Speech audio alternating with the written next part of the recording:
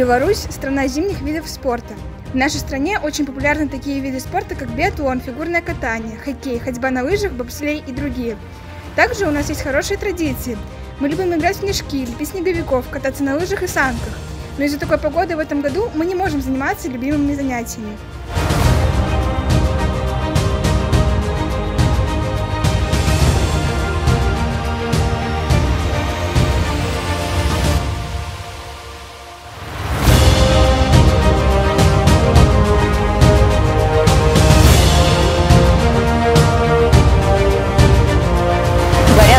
33 тысяч гектаров леса. Ситуация осложняет сухая и жаркая погода. Сейчас температура воздуха в регионе плюс 35. Более двух с половиной тысяч гектаров леса горят в Иркутской области. Только за минувшие сутки удалось ликвидировать 24 пожара, однако возникают все новые очаги.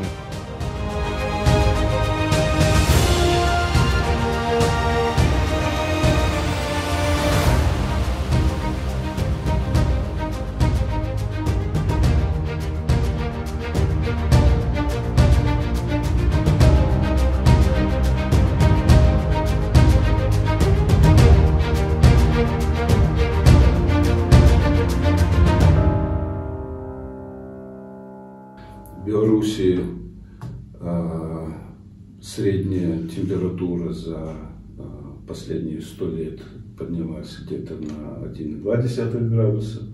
В мире э, несчастные 0,8 градуса поднятия температуры. Вы видите, каким изменениям э, привели э, на всей планете, какие э, катастрофы, э, погодные явления серьезные, опасные возникают.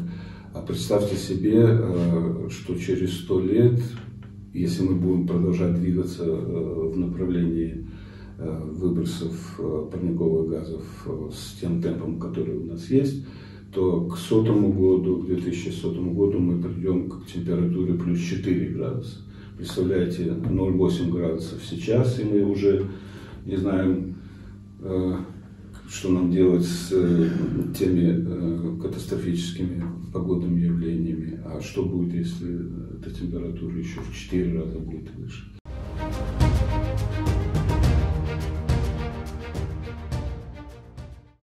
Если вы будете жить в мире, который э, будет подвержен серьезным климатическим изменениям, э, вы должны учить старшее поколение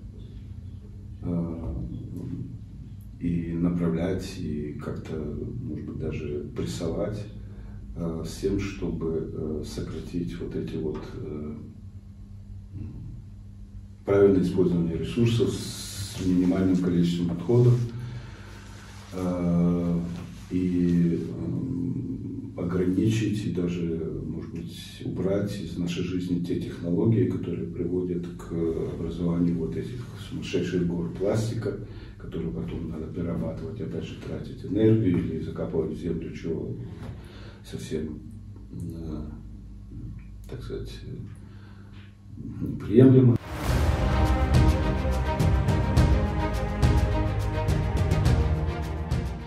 С точки зрения как бы повышения информированности населения, молодежь может действительно сделать, ну, скажем так, довольно много, чтобы, потому что как бы некоторые слои населения, они просто, ну, как бы люди, нет времени там читать газеты, там, интернет и так далее, они просто этот вопрос вообще не знают, что происходит.